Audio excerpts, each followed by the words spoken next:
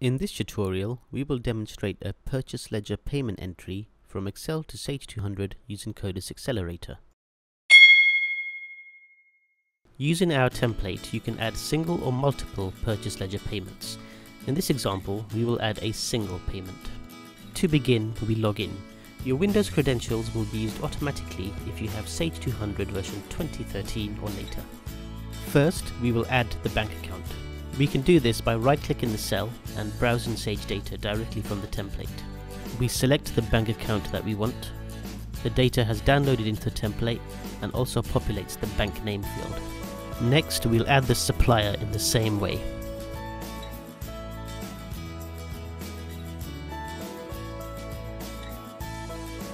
These are the invoices that are outstanding and need to be allocated. We'll now add the reference numbers and cash date we can right click the browser calendar to add the date. We'll also add the allocation date, cash amount, discount, and total to allocate.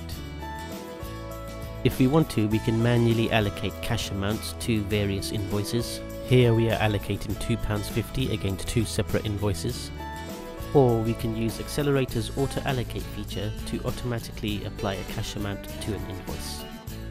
As you can see the auto allocate feature has applied an amount to this invoice. Once we are done we can click validate to make sure the data adheres to Sage 200 rules. Then we click save to Sage to upload this data directly to Sage. This confirms that the allocations have been saved.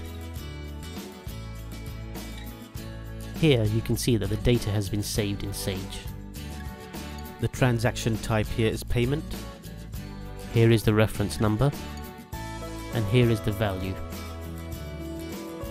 Now let's create our own template using the spreadsheet designer. To begin, we select the designer button. In the designer, all standard Sage fields are available.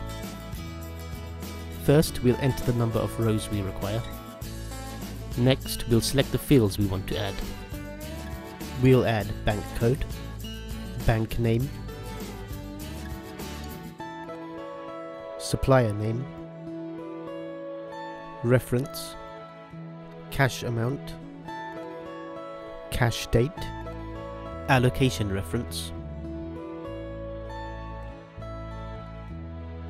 allocation amount, and finally outstanding amount. Once we are done, we can close the designer and then we will download a supplier into the template. We will also add a bank. We'll add a reference, a cash amount and a cash date. We will also manually enter two allocation amounts against two invoices.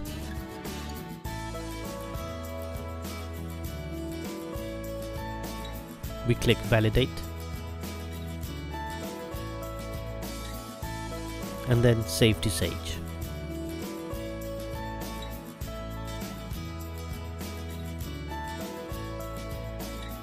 If we go back into Sage, we can see that the two allocations have been saved.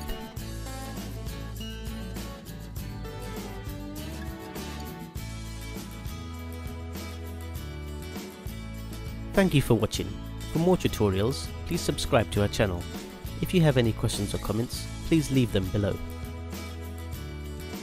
If you're interested in Excelerator and would like to obtain a free demo, please contact us sales at codis.co.uk. To learn more about us, visit our website codis.co.uk.